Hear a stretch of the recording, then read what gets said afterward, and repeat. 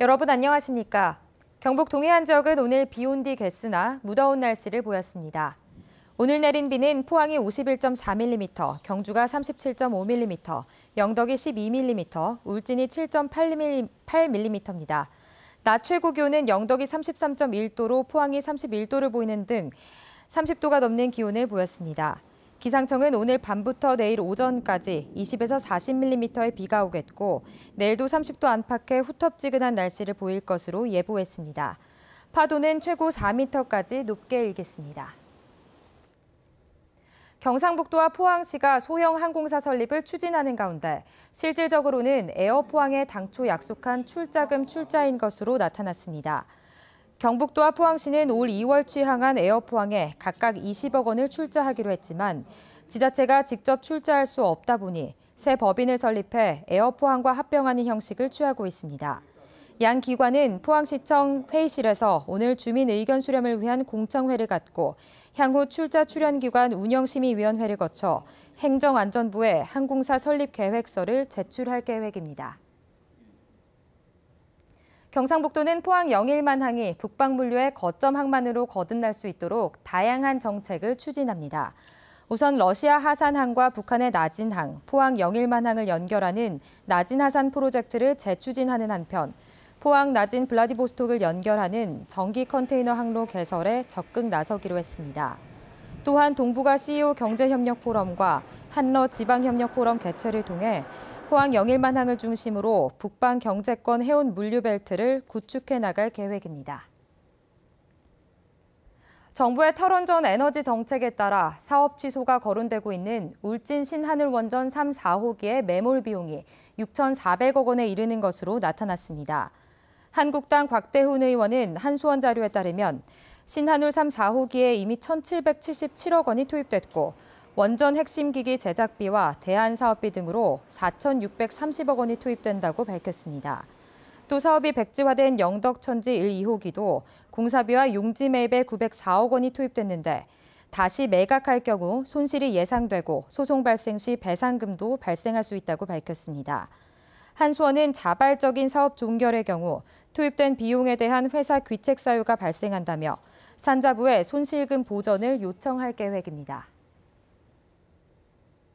지난 2014년부터 추진해온 울릉 사동항 동방파제가 이달 말 준공됩니다. 사동항 동방파제는 총 길이 640m로 모두 1,832억 원이 투입됐으며 앞으로 기상 악화 시에도 해군 함정과 해경 경비정 정박에 큰 도움이 될 것으로 기대됩니다. 해양수산부 동해수산연구소는 어린 갑오징어의 초기 먹이를 규명해 갑오징어의 양식이 가능해졌다고 밝혔습니다.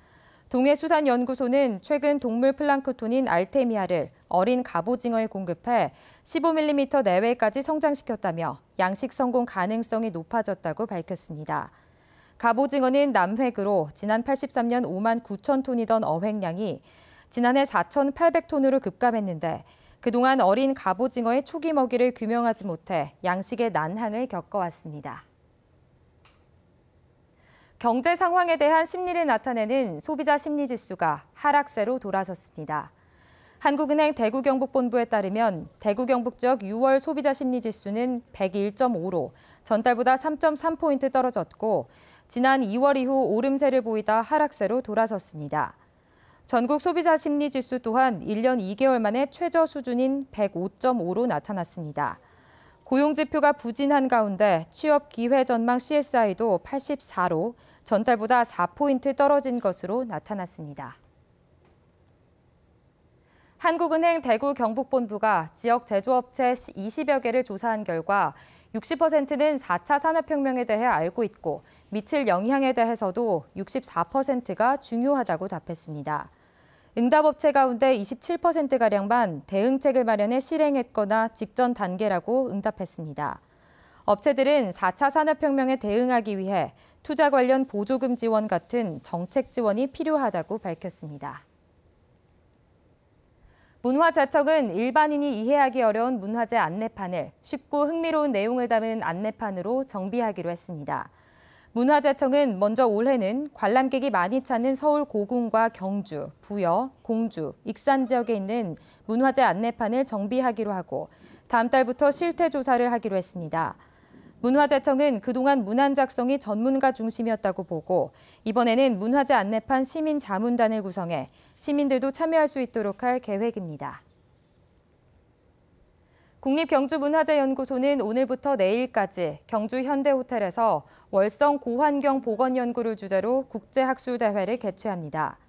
이번 학술대회는 과거의 동식물 자료와 지질 분석 자료를 토대로 당시 사람들의 생활 환경을 살펴보는 것으로 우리나라와 중국, 일본의 전문가들이 참여해 주제를 발표하고 토론을 벌입니다.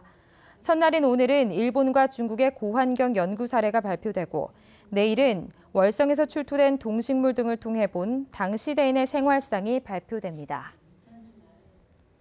네, 이상으로 포항 MBC 뉴스를 마칩니다. 여러분 고맙습니다.